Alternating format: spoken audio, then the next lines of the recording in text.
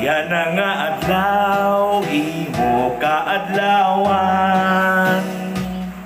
Ang hingyap namon, ikaw magmalipayon Tagan kauntay, inalawi nga kinabuhi Nganin maupay, nga kabubuwasan.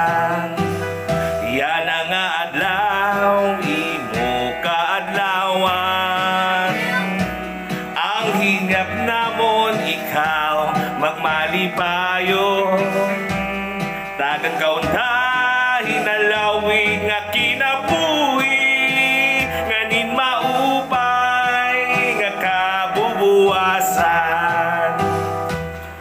Bisan kun kapos na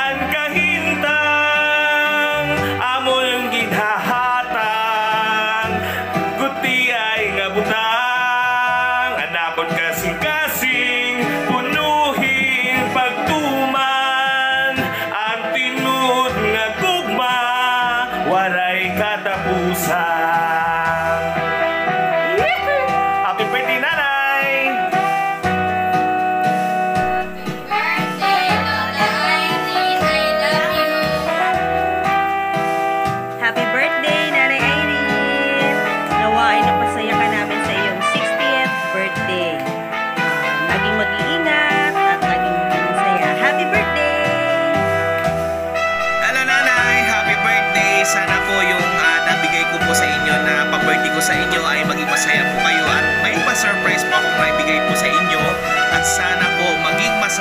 kayo sa 60th birthday niyo po ngayon. Maraming po salamat po sa inyo.